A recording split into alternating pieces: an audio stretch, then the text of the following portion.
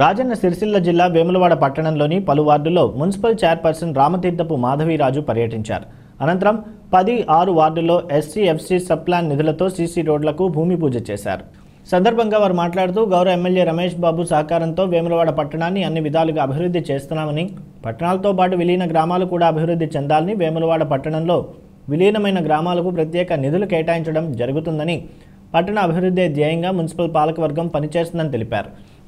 రానున్న కాలంలో పెద్ద ఎత్తున నిధులు తీసుకొచ్చి మౌలిక వసతులు అభివృద్ధి ధ్యేయంగా పనిచేస్తామన్నారు.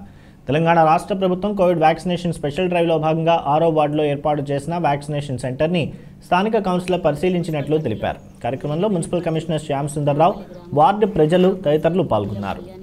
వార్డులో మరి ఈరోజు ఎస్ఏఎస్పీ సప్లై నిధుల నుండి నాలుగు లక్షల ఇరవై నాలుగు లక్షల ఇరవై వేల రూపాయలను కేటాయించుకొని దానిలో భాగంగా ఈరోజు సీసీ రోడ్కి భూమి పూజ చేసుకోవడం జరిగింది. మరి గతంలో కూడా అంటే గతంలో కొంచెం అభివృద్ధిలో వెనుకబడినటువంటి మరి నాపల్లి గ్రామం మరి వెమ్లాడ మున్సిపల్ పరిధిలో విలీనమైన తర్వాత గౌరవ ఎమ్మెల్యే రమేష్ బాబు గారు మరి పట్టణాలతో పాటు విలీన గ్రామం కూడా అభివృద్ధి చెందాలని ప్రతి వార్డుగాను నలభై నుంచి యాభై వేలు కేటాయించుకోవడం మరి దానిలో భాగంగా దాదాపు ఫిఫ్టీ సిక్స్టీ పర్సెంట్ వరకు శాలరాంబలో కావచ్చు శాంతినగర్లో కావచ్చు వివిధ ప్రాంతాలలో ఎక్కడైతే మనం డ్రైన్స్ రోడ్స్ అవసరం ఉన్నాయి అక్కడ కూడా చేసుకోవడం జరుగుతుంది ఖచ్చితంగా రానున్న రోజుల్లో ఇంకా కూడా మరి పట్టణానికి ఇరవై కోట్లు కూడా రాబోతున్నాయి. ఇందులో భాగంగా ఇంకా కూడా మనకు అవసరం ఉన్న చోట్ల డ్రైన్స్ కావచ్చు రోడ్స్ కావచ్చు ఇంకా ఇతర ఎత్తి పనులు ఎక్కడైతే మనకు అవసరం ఉన్నాయో అక్కడ కూడా పెట్టుకోవడం జరుగుతూ ఉంది.